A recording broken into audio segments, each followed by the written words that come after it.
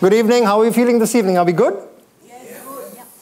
Yes. Yes. okay, so I'm going to kick it off. You know, one of my favorite lines all, of all time, actually, is a Steven Tyler line. Steven Tyler, obviously of Aerosmith, one of the songs called Amazing has a lyric that says, Life's a journey, not a destination. Speaking of life's journey, I've had the privilege of spending around three decades and then some in the business of entertainment, in the business of experiential, in the business of music and radio, and in the process had the privilege of meeting very many special people. People who have spent a life of determination, of grit, of vision, perseverance to achieve what they've set out to. In fact, this evening, I have with me two such very, very special people. We feature them on what we call Tellis Like It Is. The first is a lady of grit, of determination, of extreme beauty, both in and out. She won the Miss India and the Miss Universe contest back in 2000 and then went on to much, much greater things. And we'll get to know a little bit more about her and all she's achieved. And of course, the gentleman won his first Grand Slam in tennis back in 97, the mixed doubles, and has gone on to win 12 Grand Slam titles. In fact, eight in the mixed and four in the men's doubles, and that's only the beginning of his story. I'm extremely privileged, like I said, to have them with me today. Welcome to an episode that is so special, an episode of Tellis Like It Is. Please join me in welcoming a couple of people who I have the privilege of calling friends. Let's welcome Lara Dutta Bhupathi and Mahesh Bhupathi.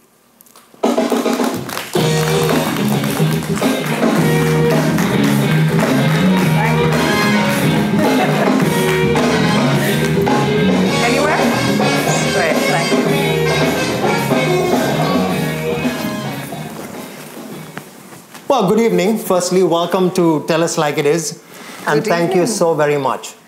It truly is a privilege to have you guys here uh, on Tellis Like It Is, which is a show, an episode in which we chat with people like you and figure out what helped you all become the people you all are. I'm going to cut to the chase and, you know, cut to the present. Happily married, pretty evidently.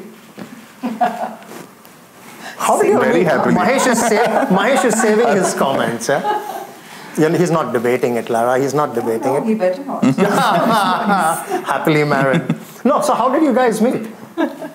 So, firstly, Brian, thank you for having us. Oh, you're, you're welcome. Very kind with your introductions. Privilege. And just want to say good evening and thank you for being here. I was wondering, um, driving into town on a Friday evening, I was honestly wondering who wanted to spend their Friday evening listen to Mahesh and me talk. The so audience I'm... goes way beyond just the live audience, I promise you. but thank you so much. Um, I'm actually, I would have to say, I'm humbled, honestly, to see all of you guys here. Uh, happily, yes. Mm, it's a work in progress, like every marriage is, every single day. But um, we kind of, we're going to be coming up to nine years in February. Yep. And uh, we found few things that we've kind of cracked to make it work. we still throw brick bats, or at least I still throw things at him once in a while. and the reaction being? Uh, he's very catch. good at ducking. That's a cricketer's forte, but then again, multi-talented, multifaceted. Yeah, yeah. So happily married. I mean, nine years. Nine years. And I'm sure some, you know, some fantastic stories uh, over the last nine, including that beautiful, beautiful daughter of yours, yep. Saira, whom we will speak about, uh, you know, as the show progresses. How did you all meet? Oh. I, I, want to hear Mahesh's version, huh? Because okay. I'm okay. normally okay. the one who tells this story. And so just now. by the way, you're allowed you're allowed to love each other, to fight, to do whatever you want, right? Please feel free. Go on, Mahesh. We uh, met randomly. I think uh, I have a talent management firm that uh, used to manage Lara. And uh, I was never, you know, I was always traveling playing tennis, so I never really got to meet any of my clients. But there was a transition in the company, so uh, one day I told my team that I'd like to start meeting my clients. Uh, that's my side of the story. he met one client. One. Yeah. One client he met. and then, and then of course refused to meet anyone else. Hey, you know what? Yeah, because firstly, his whole idea of meeting clients was very strange because I was obviously told, you know, so I knew that Mahesh Bhupathi owned Globosport, you know, they handled sport and film personalities. I was with them for three years. They handled all my endorsements and appearances and things like that, but never set my eyes on Mahesh Bhupathi ever, right? And to be very honest, um, the only tennis that I actually ever watched was only if Sampras and Agassi were playing. So I knew obviously who Leander Paes and Mahesh Bhupathi were. I mean, I knew exactly who the Indian Express was, but to be very honest, never followed their careers. I was very happy when they won and things like that, like any Indian would be, but you know, that was it. Um, and then I'm told that, you know, so Mahesh wants to meet the clients that he's now handling and whatever. And I said, fine. So can we pass your number on? I said, sure. And then I got a text message from firstly, when you don't know someone's name in your phone, you know, when they send you a message, like whatever they've stored their name as kind of comes up, but you only see it like before you open the message. So you only see whatever that is. And then when you open the message, it's only a number, right? So it said Big Daddy, firstly. Then I open the message and it says, hey, Lara, this is Mahesh, da da da da da, you know, and uh, you know that I want to meet, da da da. So uh, how about a drink on whatever? I was like, a drink? no. How about coffee in a public coffee shop at five o'clock in the evening? and then that was our official first meeting. Now we'll go on to your version. that was it, Amayesh? That was it. Oh, great. That was it. He was very upset because obviously I showed up in all my star power, finished the meeting, call my driver, Mercedes drives up. Mahesh says, yes, yes, opens the door very nicely, gets in, and then he calls a hired taxi to go back. Welcome to reality. Yeah? This is the real world, Lara. This is the real one. That's fantastic. I think that's fantastic that you can, you know, a great start. And, and they lived happily ever after. Of course. You know, and that's the beautiful thing. Yeah. I want to roll back actually a little bit and get to know a little bit more Mahesh. Now, you know, we're talking Globosport, we're talking a whole load of other things that you're doing, IPTL, you know, and uh, the other business ventures that you have. Tell us a little bit about what's happening with you now. And we'll roll back the years later. Right now, uh, obviously retired from tennis, so that's kind of changed a lot uh, of my lifestyle. I used to travel 35 weeks a year. Now I'm uh, I'm not even traveling 35 days a year, so it's a big change for me, but I'm kind of adjusted to it. Obviously, Saira being at home um, has also kind of helped that because, I mean, now sure. she's grown to an age where, you know, she's going to school, she's doing a lot of activities, playing a little tennis. Uh, but yeah, I mean, few business ventures mainly related to the celebrity world, and uh, we're doing a lot of licensing today. Uh, it's different, but uh, yeah, enjoying it. Lara, how about you? I mean, there's a brand new business venture. Tell us a little bit about that. Yeah, so, uh, so for me, I think, um, Brian, I've never actually conformed to any sort of one career path in my life. And I think that kind of, for me, has always been somebody that I, like, just the person that I've been from the time I was a child. So even when growing up, if I was one of those, you know, kids whose parents said, oh, tell them what do you want to be, and then I never kind of wanted to be just the engineer or the doctor or the actor or whatever. I, at any given point of time, always wanted to be at least three careers at the same time. And none of them had anything to do with each other. You know, so I wanted to be an astronaut, a ballerina, and an archaeologist. Um, and I think for me in life, I've kind of always also just lived that kind of path. So I did when I mean I started modeling when I was 16 years old. Uh, of course, did Miss India and Miss Universe came very natural. The transition was to come into Bollywood. Um, but then from there, being a producer, now being an entrepreneur, it's just a lifetime of experience. I've spent 25 years in the business. And for me, you know, just now we've launched Arias Skincare just in right. April this year. And it came from a space of saying, you know, I've been here for 25 years. I've been in the industry, I've had um, access to the best makeup artists and skin experts world over, but I've never really found anything that's really worked for Indian skin. And I'm 41 years old this year. And 41 uh, years young. young.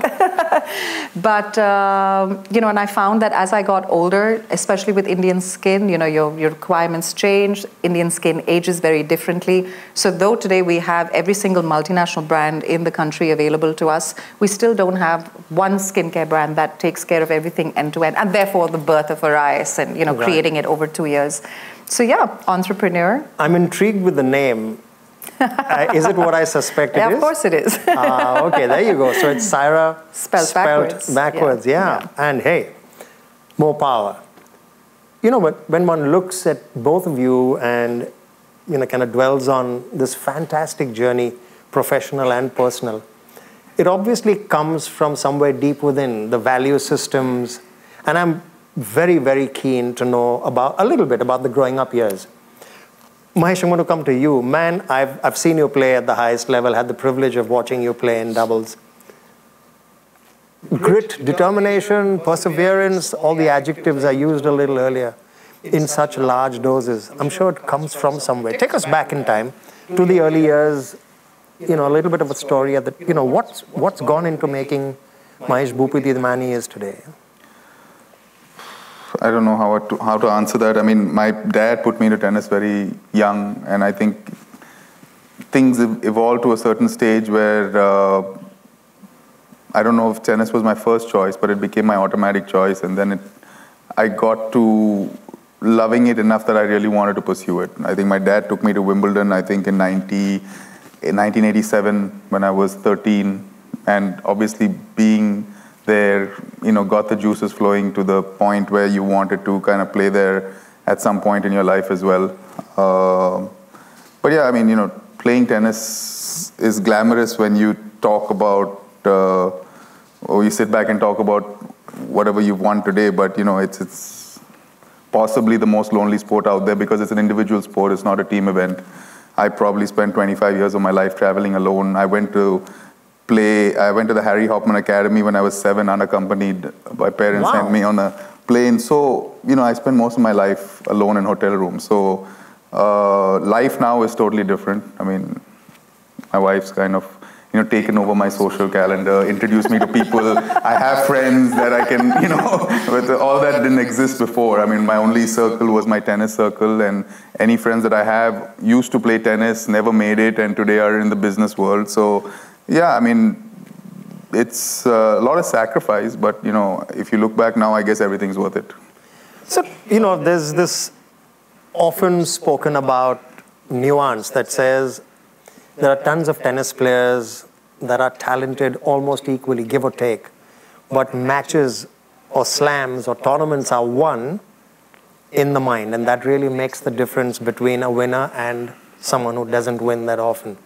A little bit about that, about mental get up, what it takes.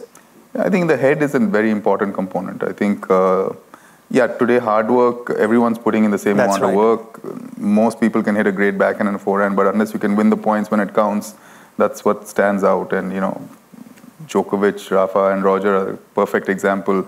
Guys can play them close every match, but when it comes to the crunch, they take it up a notch, and that's I think that's where tennis makes a difference. It's the heart, the head, and the legs. If you don't have all three components, you won't make it. You seem a very controlled person, at least socially, right? you, you, you save the lines, and I've had the privilege of hearing the lines, albeit in private conversation. You know, when you're out there on the court, you're out there on the court. I mean, you know, does it take a big switch? You know, from, you know, being the person you are, that's controlled, that's reserved, if I might. And when you're out there, your, your aggression levels, uh, your desire to win. Uh, we've seen tennis players of all kinds, some like the Borgs and, you know, maybe yeah. even the Federers of this world are very controlled. And on the other hand, you've got really aggressive players. What does it take? I mean, you know, is it, is it a pull and push, personal personality versus the tennis champion? Uh, yeah, I think on the court is different. I mean, for me specifically, because we play doubles, so I always had to feed off my partner and the energy coming on from you know the other side of the court. And uh, you know, there are days when I'm playing terrible and my partner has to you right. know, get the energy going, and vice versa. So, um, and I kind of thrive in team competition as well. I went to college in the states, and that also kind of gave me a sense into how team team competition works. So it it. Uh, Yeah, I mean, energy on the court, most of the time people couldn't understand it when they knew me off court, how that would translate to the energy they saw on the court, but it kind of stayed on the court most of the time. exactly the reason for my asking. Lara doesn't look like she agrees with you completely on that last bit. we come to you, Lara. I mean, you know, I can clearly remember that, that day in 2000, uh, the Miss India win. I was, you know, one of the privileged few to be around at that time uh, doing my little voice of God announcements uh, around the venue. And, and you went on, that was a great year for India. Yes. Uh, all three of you all went on to, uh, to create huge, huge, beautiful careers. Yeah. Tell us a little bit about the journey up until then.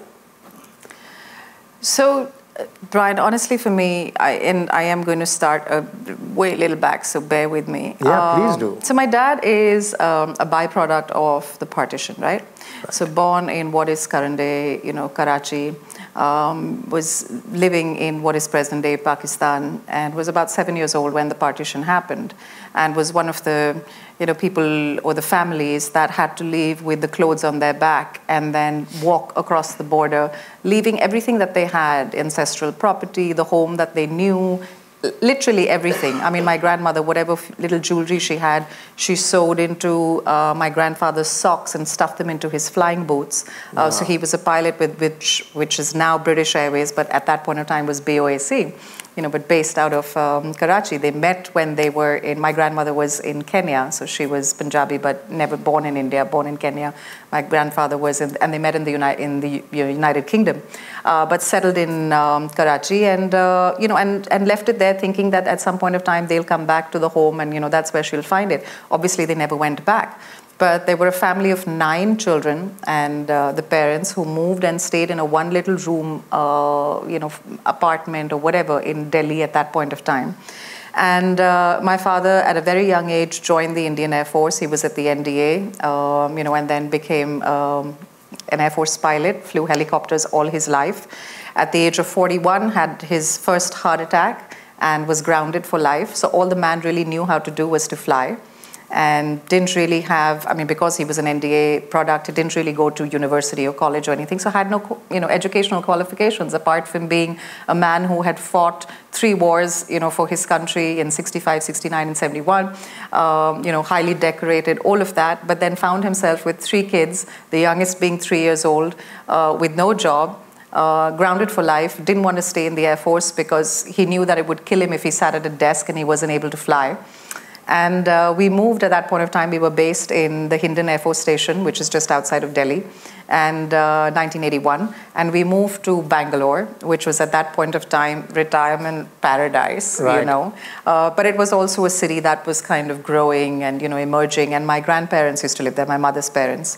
Uh, they're of mixed, I mean, they're not Indian, they're, but also mixed heritage. My grandmother's half German, half British. My grandfather's half Swedish, half Scottish. Um, when the partition and when, when the British left India, they decided and chose to give up their British passports and adopt Indian passports and continue to live in India. So my father, in all intents and purposes, married the Gora Mem Saab, basically. uh, but yes, yeah, so we moved to Bangalore in 1981. I was three years old, and my dad had no job.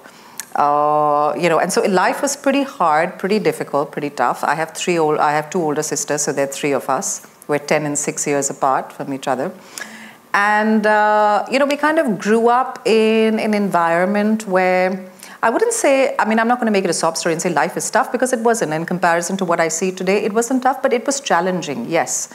And my dad got very lucky. You know, he kind of, after about two or three years, uh, was offered a, a, a, job opportunity with Hindustan Aeronautics. So he got back doing what he did, which was aviation, but at least outside of the uh, Air Force. But my dad was 60 years old by the time he finally was able to put down a brick in the soil and have a permanent address that he called home. Wow. So 60 years old. You know, so for the longest time ever, almost all his life, the man always had either an Air Force address or an address from a company that provided him accommodation.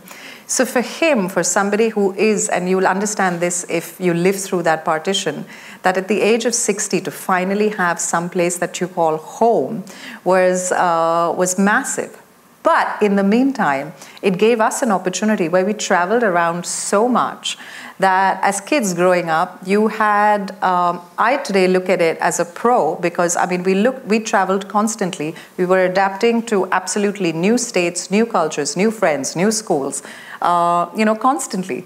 And uh, when people ask us what gives service kids a little bit of an edge over other civilian kids. I think that is what it is. It's the fact and the, and the aspect that you travel around so much constantly that you're constantly adapting. You know, you're constantly finding ways to connect to people, make new friends, you know, do all of that. Uh, so 16 years old in Bangalore, uh, in my 11th standard, my sister apparently saw an ad in a newspaper for the Gladrags Supermodel Contest took the most horrific photographs of me. I wasn't even 16 then, I was 15 at that point of time. Sent them in to Maureen Wadia in Bombay. And I still remember it was summer vacation. I was sitting at home. My mother gets a phone call. And she says, Oh, we know we're calling from the Glad Rags organization, and Lara's been selected for the Bangalore finals, or I don't know what. And, you know, and my mother was like, What? Who's this? You know, so I mean, and all I heard was that the contest was going to be held in Bombay. I had never been to Bombay in my life. So I pleaded and cried, please, Mama, if nothing else, I just want to go. It's a holiday. They're taking me for two weeks. It's going to be an all paid vacation. I want to go. And that's where it actually started up from. So I went into the Bangalore, you know, selections, blah, blah, blah. I got short selected to come for the finals into Mumbai. Won that. I was 16. Uh, I was going into my 12th grade. My mother almost had a heart attack. So she was like, come what may, you are sitting for 12 board exams, which I did. Um, and then finally, when I, when, I gradu- when I finished my 12th, I moved and I came to Mumbai and I did my degree and things like that. But I think for me, Brian, more than anything else, it kind of created a hunger.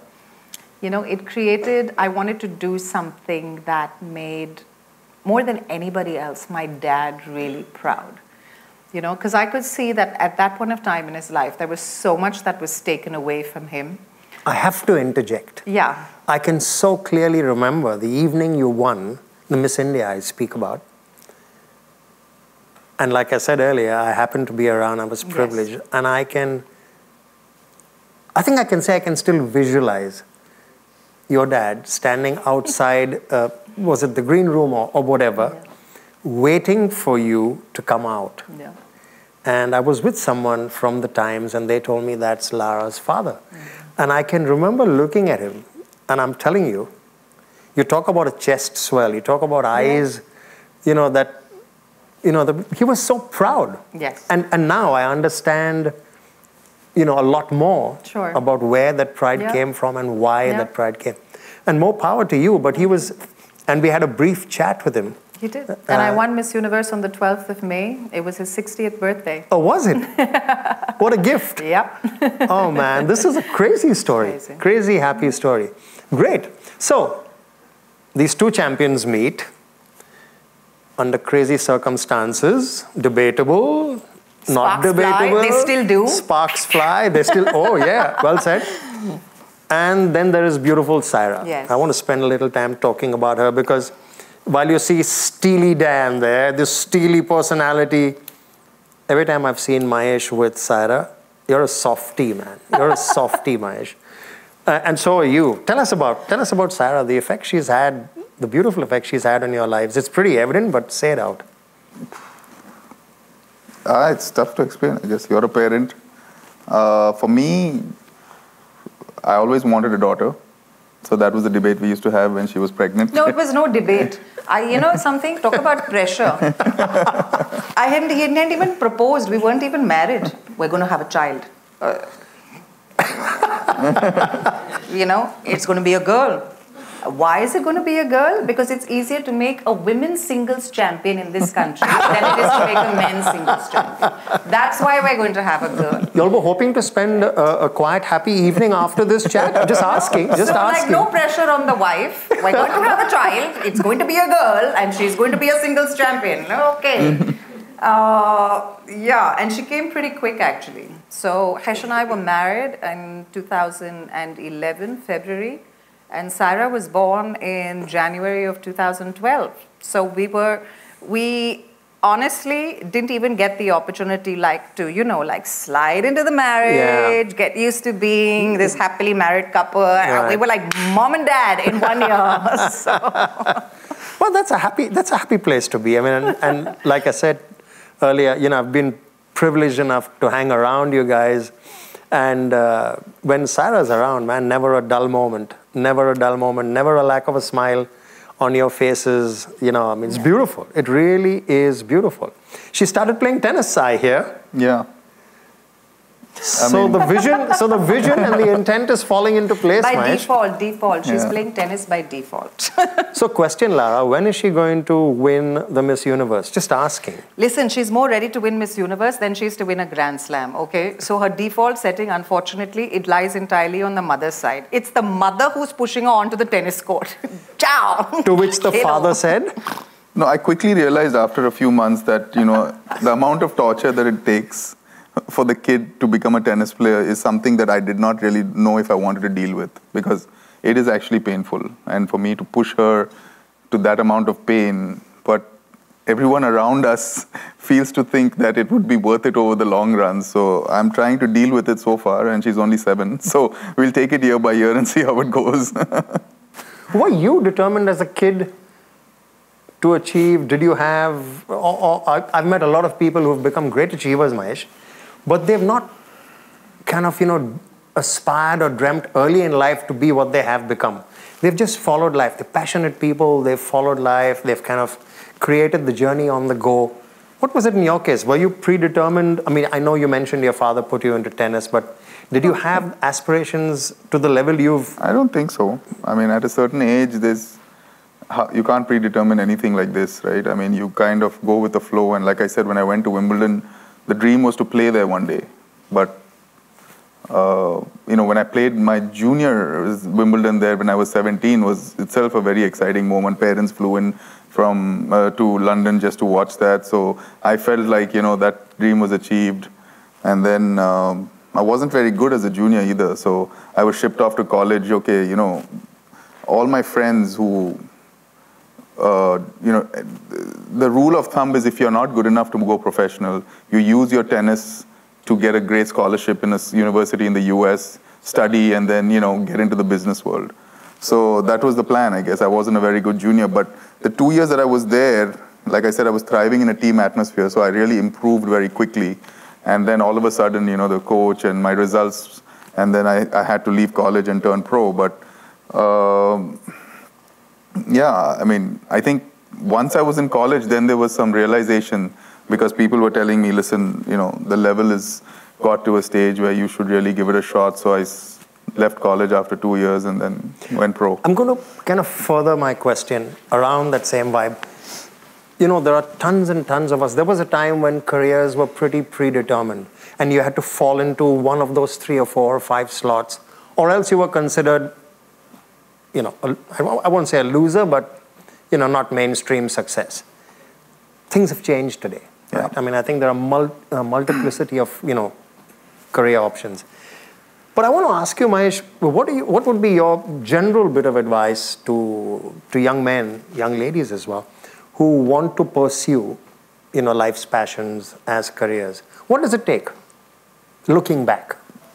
I think passion is key, right? I mean, and, and, and we constantly, you know, Saira comes home one day and she wants to dance. Then, you know, one day she, you know, spends a couple of days with Clarabelle and she says, you know, I want to uh, start my own salon. I mean, we, as long as she's passionate about what she does and enjoys it, I think that's key today because uh, otherwise, you know, going through life, grinding it out and slogging it like we did, I think we've done the hard work now. If she's passionate about it, I think we'll be able to support it. And y'all are good with that. Y'all are good with her following her passion, even, even if it doesn't fall into one of the prescribed course, slots. That's of great. course, yes, That's great. sure. What's your take, Lara? Not just on Saira, but what's your take on, or what's your bit of advice to You know, Brian, I think for me, being a mum now to even just a seven year old, I see the amount. I mean, I have, uh, we're all girls in the family, right? My sisters both have girls, and um, they're, the eldest is 27, my niece, the eldest niece is 27, and then 21 and 15.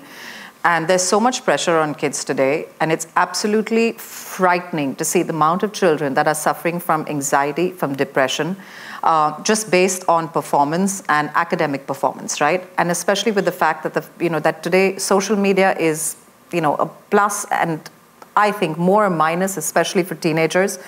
And there's so much, there's no concept of self worth. Your concept of self worth is based today on how many likes you have or the comments that people, anonymous people, are passing on, you know, whatever your Facebook account or your Instagram account or your Twitter account or whatever it is.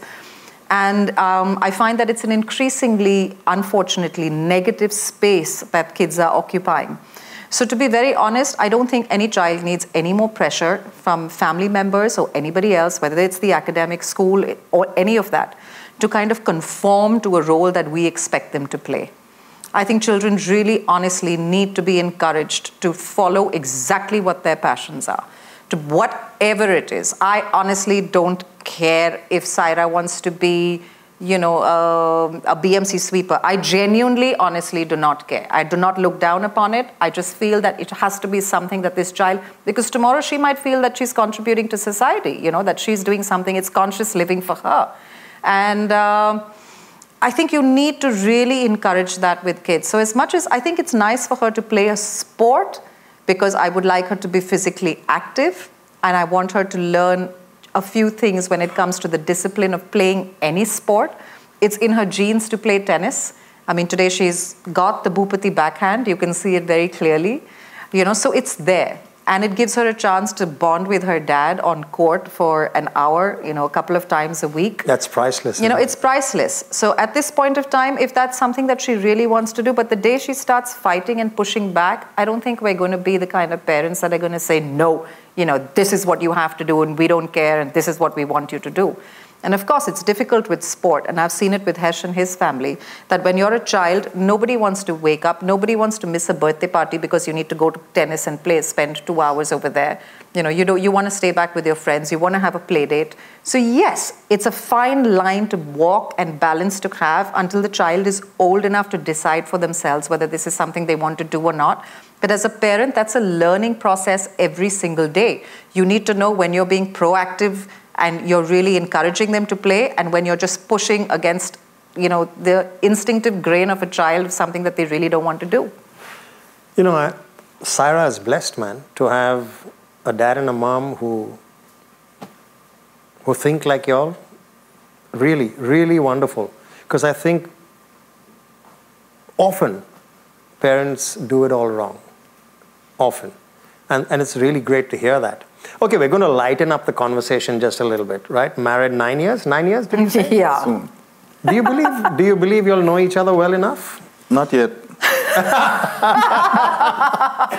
That was very decisive. Yeah, he should be a politician. I've been telling him this for the longest time ever. Okay. Just saving his ass. Yeah, Sorry. yeah, yeah, Sorry, yeah, am I allowed to absolutely. say that on No, you're allowed Yeah. to say that. You're allowed to say. What was that again? Okay, so I'm going to kind of test you guys. See how much do you know about this beautiful boy. lady, and uh, then I'm going to come to you, Lara. So this is for you, Mahesh. Listen, you all haven't connived and compared notes, right? What notes? About each other's likes and dislikes. Well, over the last nine years, we've tried. When I was trying to get some information about you, Lara, just to let you know, Yeah.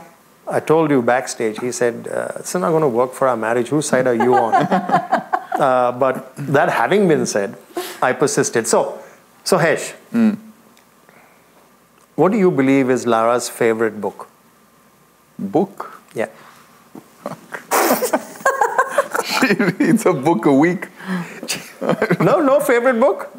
No? No favorite book. So you're, Pass. You're pass. Yeah, you, you get minus, huh? You get minus. But we won't count the points because uh, I feel for you. I'm as bad as you are. Ask me. He's read only two books in his life. Yeah, I'm going to come to that. okay. What's her favorite vacation spot? uh, it's Maldives. Oh, bang on, bang on, bang on. Fantastic. It is the Maldives. So you scored. Uh, favorite fictional character? Fictional character. Marvelous pass. Mrs. Maisel. What? No, you got that wrong. Scarlett O'Hara. So you're still on one point. Who's that? Favorite way to spend a holiday? Holiday? Yeah, her Oh. favorite way to spend a holiday. Oh, it depends on where we are. If we're in a touristy spot, she likes to walk around Oh, and man. places. Otherwise, she likes to eat. so it depends on where we are. Yeah, no, I think you got that right. Yeah. So a couple of points. Yeah, What, eat or walk no, around? no, no. Well, so eat, yes, but exploring the city on foot is what we got from you, and I think he pretty much said that. So Yeah, that's only because I subjected it to him, subjected him to it this summer.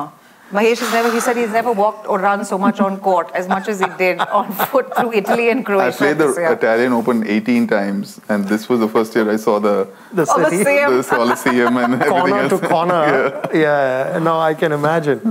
Okay, favorite sports person. He knows this. Her favorite sports person. You know this? Yes, Pete Sampras. No, No. little more newer. Newer. Yeah. Or- she didn't know what sport was till she met me, by the way. So how can it be new? This is True, making I just up. followed different sport than okay, tennis. then Roger Federer. yeah. Yeah, yeah. So do we give him a mark for that? I mean, Yeah, yeah. He knows this also. Okay. I think okay, that's so- because I've taken her to watch him play. a few Well done, well done. Incidentally, he's one of my favorite Yeah. sportsmen as well. One of my favorite people, actually. Fantastic person. Never had the privilege of watching him play live. But anyway, oh, actually, I did. He was he was here for the IPTL, Yeah, right? in Delhi. I did. Yeah, I changed that. I did. Uh, favorite, uh, her favorite woman icon. Uh, Christiane Amanpour. Yes. So I what's think that was the points? answer at the Miss Universe, so that everyone knows, Oh, I didn't know it. right? I was Did you- too busy hearing the voice. Okay, not bad, not bad, Ash. Four points. He's listening at home. I'm glad to hear at Ah. least something. Your turn, your turn, your turn, Lara. About Mahesh. Okay. Uh, his favorite musician or band? Band? I Yeah. don't know. Like, I don't. I think with him, I don't. know. Hindi- Bad Hindi boy and Badshah or something. I don't know. Something. it has to be some really.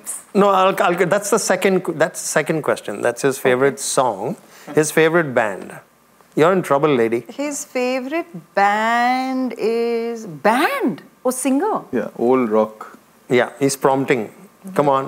What Beatles? Like a I good don't know. husband. No, no. So that that's it. That's it. No points. Okay. Def Leppard. Because I'm never allowed to play Yes. that in the house also. I have never heard, heard him hear freaking Def Leppard in my Because life. because he says you don't allow him to play his music in the house. Please. Family problems besides knowing each other. Okay. Favorite song Has to be, I don't know, some Govinda song. Any song of Govinda has to be his favorite song. I got to give her the points for it. I got to give her the points for What it. is it? मैं तो रास्ते से जा रहा था. Not bad. I'm tempted to give her two points for that. Not bad, not bad. I never thought you'd get that. Okay. Uh, his favorite dessert. Oh, so let's say his favorite breakfast first. His favorite breakfast is Yeah. Eggs Benedict, hands down. Oh, absolutely. Okay. And favorite uh, dessert? Dessert. He doesn't like Indian. Anything, anything that has chocolate in it. I've actually got anything chocolate written on my it? cue sheet. Yeah. So you know what, what he does, right? So somebody asked us this question a couple of weeks ago when we were doing one of uh, a chat. Uh, what does Mahesh do when he gets really depressed or he loses a match and it's a big thing? You know what he does, right? And I know it immediately. And I'm like, oh my God, even if I'm not with him, like I know. So he raids the first, like whatever, Starbucks, whatever comes across his, and he picks up like every single chocolate chip cookie that there is in the store. And if there are no chocolate chip cookies, then it's as many chocolate bars as, and then he locks himself in his room and he eats like 20 cookies or like Where does he 10 hide it? Where does he bars. hide it? I mean, it's ridiculous. And unfortunately, he's passed that on to his daughter as well. Is that right? oh, God. Yeah. You stand accused, young man. you stand accused. But great, great. I mean, you got both of that right. So what? Three points already. I think I've stopped Do counting I have like you. a hamper? Is this like a like a coffee no, with currant if, thing? if, no. if you get See? more points than him, you get to take him home tonight. That's Yay! okay. His favorite TV show of all time. Friends. Can I tell a funny story Yes, here? please. Yes, please. I left my daughter with my husband for the first time ever. We were in the UK. I decided to go on a girls' holiday. I said, Mahesh, will you watch our daughter? He said very happily, yes, of course. So I left my neighbor in charge. I said, between the two of them, please make sure one has a bath at least every day, and it should be my child. and then I left and I went on holiday. And I came back. And of course, Saira was thrilled to see mother and whatever. And she said, Mama! We sat on the couch and we watched Friends every day. Right? And she was five years old. Cut to, we come back to Bombay. He's flown off from London, coming back. We've come back to Bombay. I'm unpacking suitcases. Saira's playing in her room next door. Her cousins come to visit. They're playing tent, tent. and Saira's conversation is okay, now, this is my house and this is your house. And I'm divorced. So I. I One minute, come here. What did you say? I'm divorced, Mama.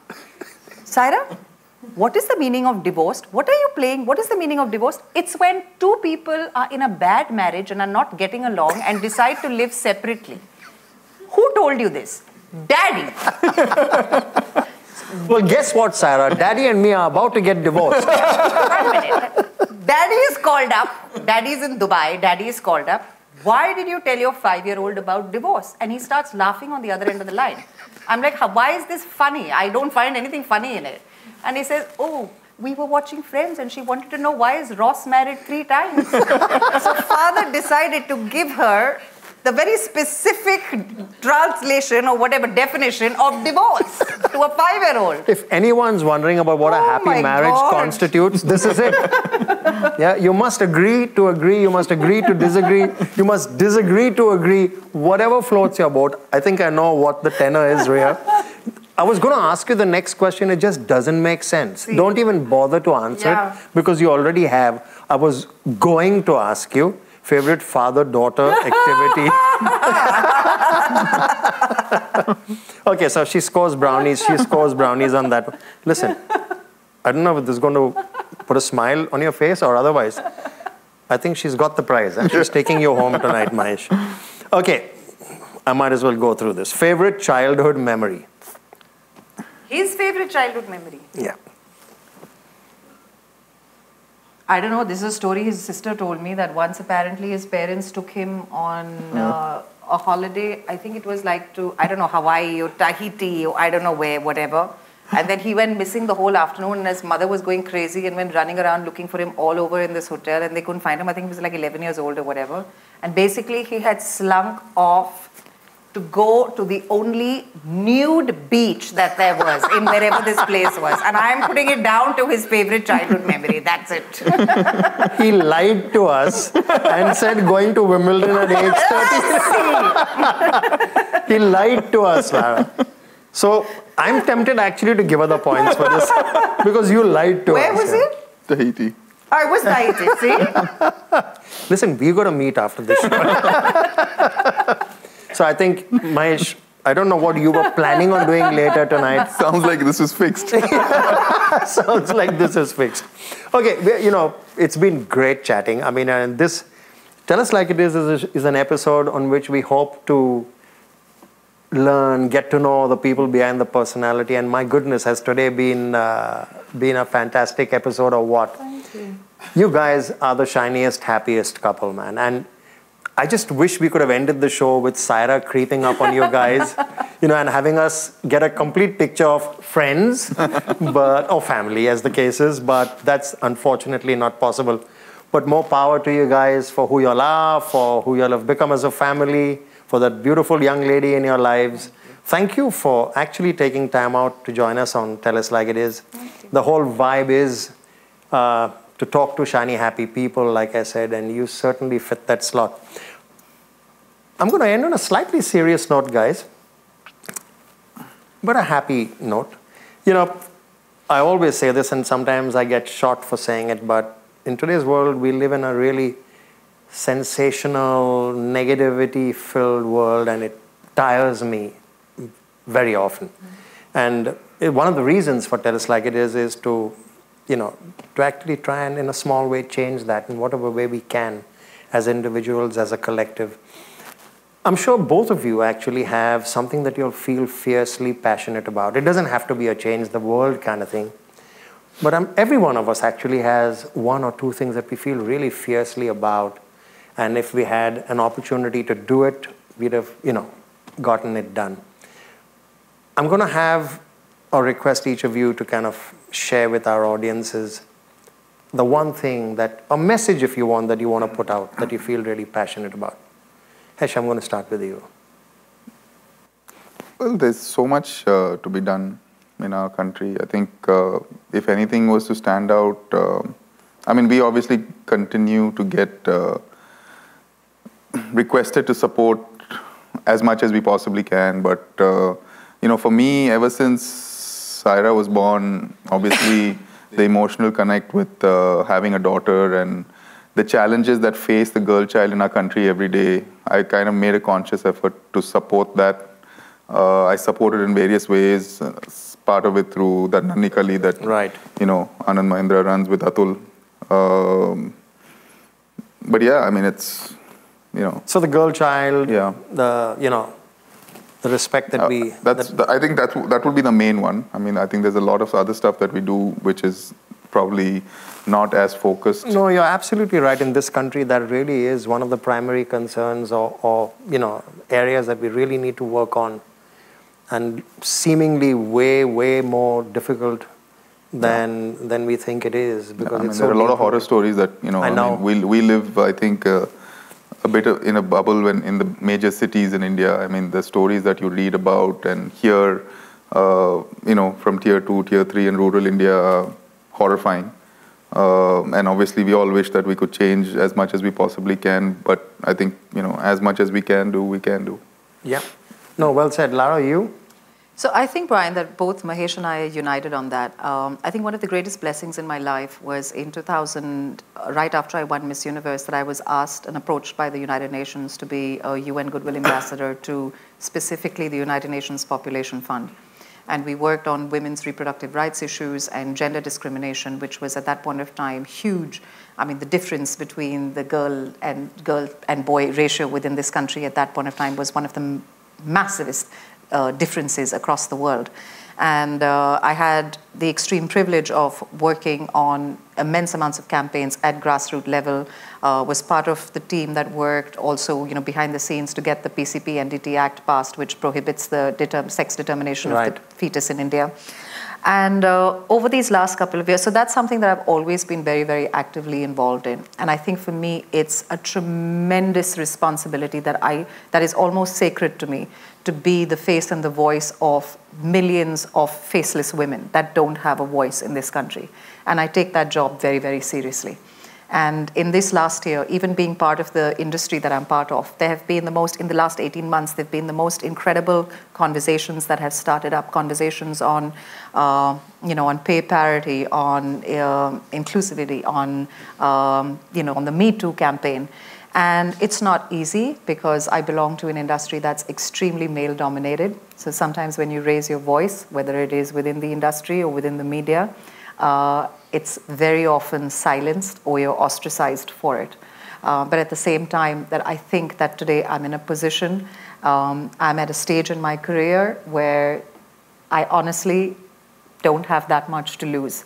And therefore, to find that voice, it takes an immense amount of courage to honestly do it, but it has to be done. And I've always been a woman's woman all my life. Um, you know, I come from a family where my grandmother is one of six, my mother is one of three, we're one of three, all my sisters, including me, we have girls. So I almost feel that in this lifetime, it is. Uh, it's my onus. It, it lays upon me to really, and, and on my family, to really, you know, kind of raise up this army of these amazing Amazonian achieving women, and we all, they, all the girls in my family are almost six feet tall. But that said and done. I think uh, it's very, very important. I feel for the longest time, women have been, we've been our own worst enemies. And that's also because the opportunities were so few. So women fought like cats and dogs, you know, and pushed each other aside and, you know, kind of really uh, pitched each other out, if I can say, because those opportunities were so few that you wanted to grab them. Yeah, the bucket of crabs. You know, syndrome, exactly. Yeah. But so today, but if there is, if women stand together and there's an opportunity for that voice that's already started and is growing to get so much louder, and for women to support each other, you end up creating more opportunities. You know, where at the end of the day, then you don't have to fight. You know, and I've always said it, much to my husband's dismay, dismay that you know women are constantly fighting for equality but I honestly feel if we're fighting for equality, we're actually demoting ourselves because I genuinely feel that women are superior to men. so there's no point fighting for equality. You're coming down, you know. and we got some concurrence in the audience. you and me need to spend a lot more time than I thought we needed to together. But you know, on a, on a, on a more serious note, I did say at the top of this episode that I was privileged this evening, and as viewers, both live and recorded, you know, we are privileged to have been part of this conversation with two beautiful people. Along their journey, they've achieved what we, what we know and what we've heard of today. But I repeat, two beautiful people who are on a mission that's going to make a difference. I just honestly, from the heart, want to thank you two guys yet again. Thank you. For taking time out, you know, and, and being on this episode. Uh, more power to, to you guys and all y'all do. Thanks. Thank you once again. Thank you. Thank you.